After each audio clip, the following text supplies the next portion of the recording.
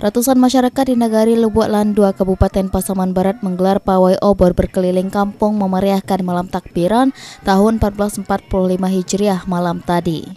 Masyarakat di Nagari Lubuk Landua melaksanakan takbiran satu hari lebih cepat dari yang ditetapkan oleh pemerintah.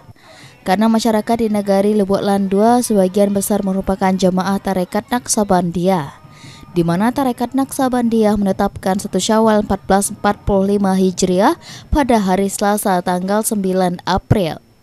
Selain menggelar pawai obor, masyarakat juga menggelar takbiran bersama di masjid dan juga musola. PJ Wali Nagari Lebuatlan Dua Dani Rilvi menyampaikan kegiatan pawai sudah menjadi kegiatan tahunan, yakninya takbiran sambil membawa obor yang diikuti oleh pemuda dan pemudi di Nagari dan juga masyarakat lainnya. Kegiatannya pawai obor dalam rangka memperingati dan menyambut Hari Raya Idul Fitri 1445 Hijriah. Jadi untuk peserta mungkin kurang lebih 250 orang. Rutinnya tentu uh, dari perbatasan-perbatasan uh, Nagari di Bulan biasanya.